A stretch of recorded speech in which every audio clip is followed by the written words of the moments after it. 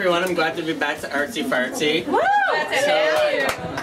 So, so last uh, fall, in like September, I went to the Rainbow Gathering for the first time, and I started to experience different sides of myself in reality. You can ask Autumn about that; she's right about everything. But um, but afterwards, I decided to try something I've never done before and write poetry about nature which I think people should do more often because nature's really cool. This is my this is my this is to my favorite season. This is an ode to fall. Fall. You do not owe me anything, but every time you leave, my body is full. How can I celebrate a season which has given me such abundance? When spring teases its rosebuds back from the poker table, and my potential breaks its teeth tripping down the staircase of someone else's ambition, and I can point on a calendar where my grief became ripe. You feed me bowls of squash and cauliflower soup fresh from the harvest. And I must say to you, Fall, when September becomes a mossy heartbeat stumbling through the orchards on the legs of a bumblebee, I will hurtle toward you with the courage of a jackrabbit who knows all too well the shadows of the mouth that's chasing him.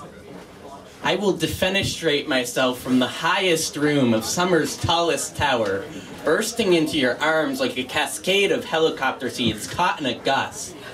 I want to learn you like this. The way my toes, the way I squish my toes through your melted Crayola grass. You are most beautiful when your clouds are pink and your sunsets explosive. Holy October, ravish this wreck of a man. I have never known a month so close to my nostrils.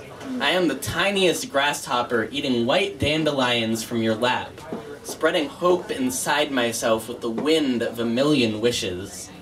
At night, I hold you close and, and grab fistfuls of twigs from your scalp.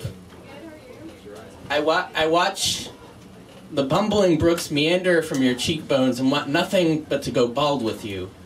Remember how I loved you, gullible, when I tried to kiss you with, with fistfuls of tent, p- tent poles in my mouth. Your spirit rocked me like the world wailed. It was you who taught Muddy to sing the blues.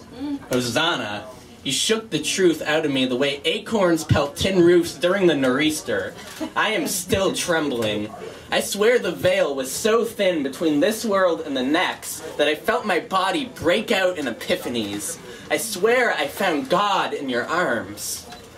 But if I was wrong, may the steel zipper of winter rip the corneas clean off my eyes every morning. May I be forced to wander the earth aimlessly, carving my name into every rock for the crime of loving you.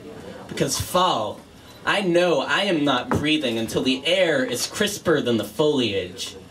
I know no life is richer than life which has reached its end. Please, undress yourself for me like the giving tree. I want to feel the womb where the squirrel and the bear hibernate. Let me be the last name on your tongue when the Merrimack frosts into permanence. Thank you.